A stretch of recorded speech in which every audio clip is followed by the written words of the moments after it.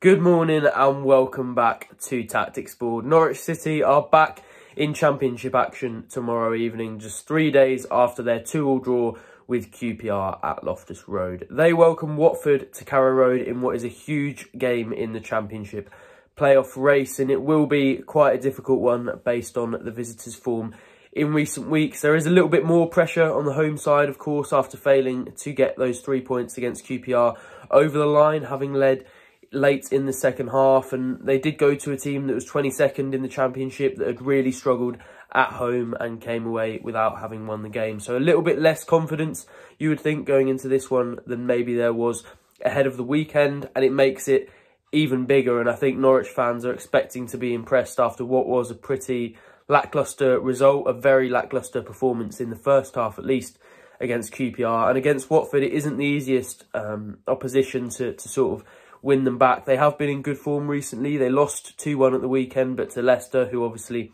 look like they're absolutely running away with the league. But under Valérien Ismaël, they've played some fairly decent football. They're a little bit less direct than maybe his, his Barnsley and West Brom teams were. They dominate a little bit more possession. They look to build things out wide and then cut back to their strikers who are generally sort of fox in the box types that maybe don't contribute loads to the build-up play but know where the ball is going to fall in the box. It will be a big test for Norwich City's fullbacks. Jack Stacey and Dimitris Giannoulis have had question marks over their defensive abilities at different times this season. For Jack Stacey, he seems to have ironed out those kinks a little bit in the last few weeks. Dimitris Giannoulis was actually culpable in part for both of the QPR goals at the weekend. Of course, he ran the ball out of play and then was fairly switched off when, when QPR took that quick throw in for the equaliser. And for the first goal, um, he didn't really get close enough to the cross, which obviously then Angus Gunn parried to Jack Colback for a simple finish. So they'll need to be switched on. Giannoulis probably needs to improve his defensive performance from recent weeks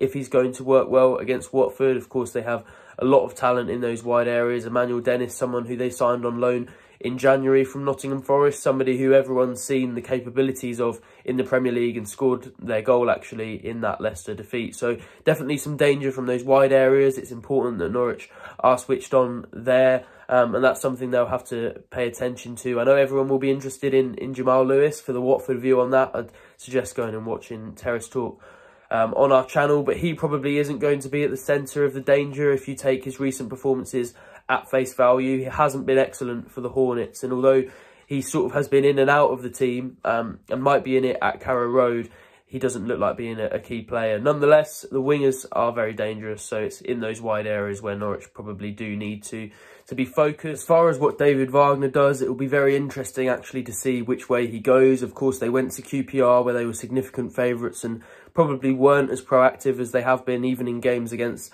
Coventry and West Brom, who of course were sort of in and around the playoff places when they, they played teams like that. So there does seem to be a fairly separate home and away strategy, which makes it feel like Norwich might try and take the game to Watford a little bit more, try and dominate possession a little bit more. We're probably likelier to see Gabriel Sara in that sort of number 10 role, but there is also the three-game week element that means Wagner will have to sort of balance the, the team out in terms of fitness and game time and how they're feeling. Josh Sargent and Jack Stacey, of course, had to be hauled off midway through the second half with sort of small issues that they had going into the game at Loftus Road. So it'll be interesting to see how David Wagner goes both tactically and personnel-wise. But I've had a go, as you all will know, with my predicted starting 11. So here it is.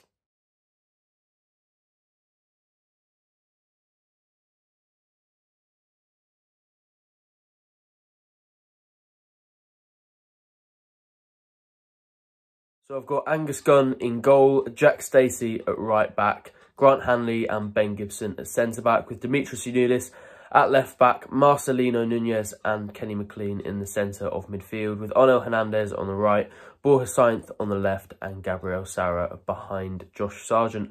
Up front in goal, again, no real question about Angus Gunn, who I didn't think had his best game at the weekend. Of course, as I mentioned, he did parry it to Colback, and although it didn't feel like there was much he could have done, maybe the area he put it into could have been a little bit better, but he was composed with his distribution, pulled off a couple of decent saves and given his performances throughout this season compared maybe to George Long's again, I don't really see his position being threatened before long. I already spoke about Jack Stacey and how he's probably improving the defensive side of his game. He seems to be getting back the form that he had at the start of the season. And although he was ill going into the game at QPR, I thought he was one of Norwich's best players, even in a first half where the team looked really, really poor. He seemed to be driving them forward and, and keen to get forward down that right-hand side. So you can see why David Wagner likes him. He seems to be getting back to his best form, and I'd be very, very surprised if he wasn't in this starting 11, barring any fitness issues. Of course, at centre-back, Hanley and Gibson, and I don't think either of them had a particularly good game um, at QPR. Of course, Michael Frey got across Grant Hanley for the winner. Ben Gibson, I thought, had an absolutely torrid time with Sinclair Armstrong, especially in the first half. Couldn't really keep up with the pace or the physicality of Armstrong. Couldn't really match up to that battle on the halfway line. Um, you get the feeling that he's probably more suited to those games where he's parked in his own box, heading, kicking, clearing. And although he is good in possession, I think he finds some nice balls sort of into the channel and, and in behind.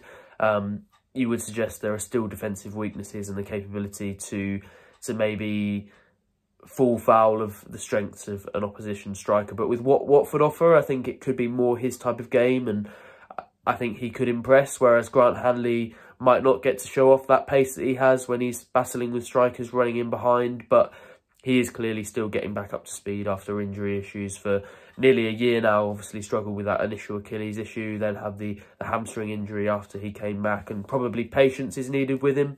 But uh, at the moment, it doesn't feel like there's much alternative unless Wagner suddenly starts fancying Danny Batth, which feels unlikely. So I've gone for those two centre back, left back. It's it's pretty much the same story as I say every week with Dimitris Giannoulis. In that I don't think he's been playing his best. I think Sam McCallum's been better, in fact, but I still think he'll be in the team because He's clearly a Wagner favourite and he likes something about him. You can tell that technically he's very good, but I don't think he's been using that in the best way in the rec in recent weeks. And as I said, this is an important game for him to be playing well, especially defensively, given how Watford sort of build up and where a lot of their goals come from. So he's going to be an important player and I'd expect him to start, given how Wagner normally goes. In the centre of midfield, I've gone for Nunez and McLean, and that's partly based on how things unfolded on Saturday and also the fact that I reference this sort of home away split where it feels like Gabriel Sara might be in the advanced 10 role a little bit more often at Carrow Road than away from it. Of course, Barnes and Sargent were up front at Loftus Road and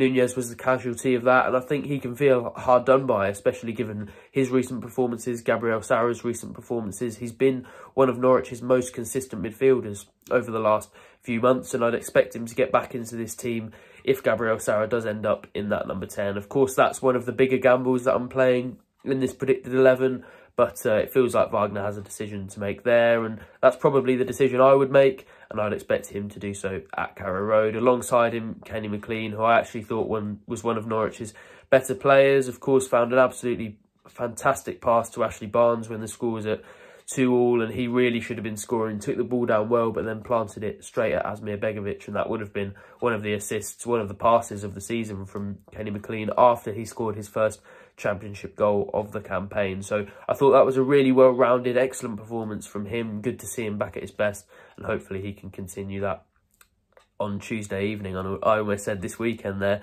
I've sort of got out of the rhythm of, uh, of championship games in midweek, but yeah, uh, tomorrow evening, I think Kenny McLean could be a key player and you'd very, very much expect him to be in the starting 11. On the right, I've gone for Onel Hernandez and that's based on obviously the, the assumption that Jonathan Rowe won't be available. He went down with a hamstring injury and signalled to come off despite the fact that Norwich had no subs left. And although I'm filming this before um, David Wagner's press conference ahead of Watford, you'd assume he isn't available. So it comes down to a choice between Christian Fassnacht and Jonathan Rowe. And given Norwich have looked better after Fassnacht's departure in both of their last two games. And Onel Hernandez, although he hasn't contributed enough in terms of goal contributions, does seem a bit more of a threat than Fassnacht.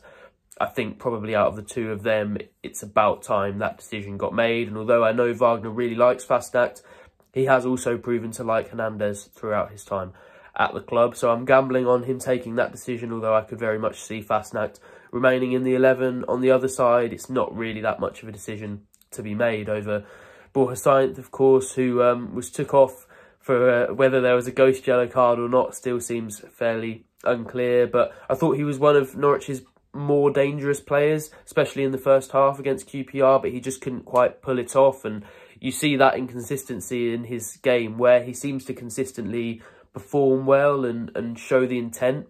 He doesn't consistently produce the end product, and that's almost the opposite to John Rowe, who maybe isn't as involved as Sainz throughout a game, but seemingly always puts it away when he gets a chance. So you'd like to see a bit of both of them take each other's game um, in a way, but I think Sainz is still looking very, very good and very unlikely to be dropped for this one. I already spoke about the sort of Sara situation and why I can see David Wagner choosing him in the number 10 role. I think he's he's been better in that role at times in the last few weeks. Didn't really have a good game at all against QPR. And he does, I think there is a, a sort of perception now building amongst the fan base that he's sort of um, getting away with it to to an extent. To be honest, I think he he looks a little bit tired. He looks he looks a little bit jaded, and he looks like somebody who has played an enormous amount of Championship football this season, which of course is the case. He still hasn't there still hasn't been a game where he's been benched for the start of a Championship fixture. So yeah, I think he might be due a rest before long, but for now I can see Wagner playing him in that number 10 role at home and uh, up front, there's not really much of a decision to be made for David Wagner, is there? Josh Sargent, absolutely on fire. Fantastic header, jumped so high in the air to plant that, that second goal for Norwich uh, at the weekend. And you can't really argue with the idea that he will start. But that's the 11 that I think David Wagner will choose. Of course, it's an absolutely massive game and you can follow every kick across Pinkun channels. Go to pinkun.com forward slash subscribe to find out more about accessing our subscriber exclusive columnists, analysis, all the good stuff like that. And we've now got a, a, WhatsApp group. There's a pinned tweet at the top of our, or pinned post at the top of our X account now. And I think if you search on WhatsApp, um, the Pinkun, then you should be able to find how you can get updates from us on all the latest articles and Norwich City developments. So plenty for you to get your teeth into there. Hopefully Norwich can get their playoff push back on track against Watford at Carrow Road. See you soon.